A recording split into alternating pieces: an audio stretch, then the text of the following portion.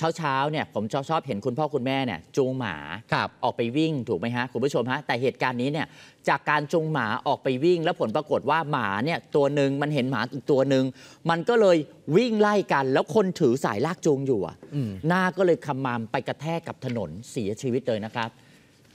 ใครจะเชื่อเออแค่เรื่องหมาหมาๆแต่กลับกลายทำให้เสียชีวิตเลยนะครับ เหตุการณ์นี้เกิดขึ้นที่จังหวัดแพร่นะครับ กลางถนนปากทางเข้าหมู่บ้าน แพะโรงสูบตำบลเด่นชัยอำเภอเด่นชัยครับ แล้วคนเสียชีวิตนะครับ ชื่อว่านายสมชายกึกก้อง อายุ 53 ปีนะครับ มีแผลถลอกแล้วก็มีหัวแตกจากการล้มกระแทกพื้น มีแผลถลอกที่คางแล้วก็หน้าผากครับ ไม่มีร่องรอยของการเฉียวชนใด ๆ ก็คาดว่าผู้ตายเนี่ยน่าจะล้มเองนะครับ เพราะว่าผู้ตายเนี่ยก่อนหน้านี้ก็คือพาหมาออกไปเดินออกไปเล่นในหมู่บ้านนะนะคุณผู้ชม ช่วงเช้านะฮะชาวบ้านเนี่ยไปเจอก็คือนอนหมดสติอยู่ริมถนนแล้ว ตอนเสียชีวิตคุณผู้ชมฮะก็มีเจ้าดำหมาของเขาเนี่ยอยู่ข้างๆด้วยนะครับ ไปถาม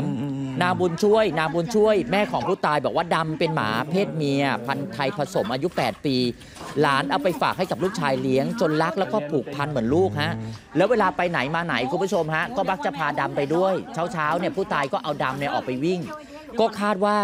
ไอ้จุดที่วิ่งมันเป็นทางลาดชัน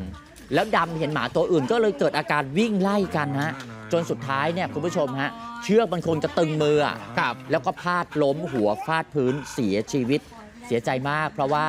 ที่บ้านอยู่กัน 2 คนนะฮะก็คือแม่และคนเสียชีวิตแล้วก็เจ้าดำก็คือหมาอีกหนึ่งตัวเท่านั้นเองครับ ไม่เห็นมีรางบอกเลยสักอย่างไม่มีเลยเลยอืมเออเขาเขาพูดอะไรกับแม่คำสุดท้ายเลยครับที่ที่พูดด้วยกัน ไม่ได้พูดอะ ไม่ได้พูดเลยเขาก็เอาหมาออกไปโอ้ตกใจหมดเลยอะครับหน้าปากไม่มีพูดไม่ได้เลยพูดไม่ได้แล้วพูดไม่ได้อืมน้ำตาไหลป้าร้องไห้ก็นั่งนอนหันหลังให้นอนหันหลังให้กันเออเช้ามาตื่นพร้อมกันก็ไปเอาไปออกออกกำลังกายออกไปเดินเสร็จแล้วก็เอามากลับมากินข้าวเลย วันดีสนุกฟรีดีทุกวัน วันดีโหลดฟรีได้แล้ววันนี้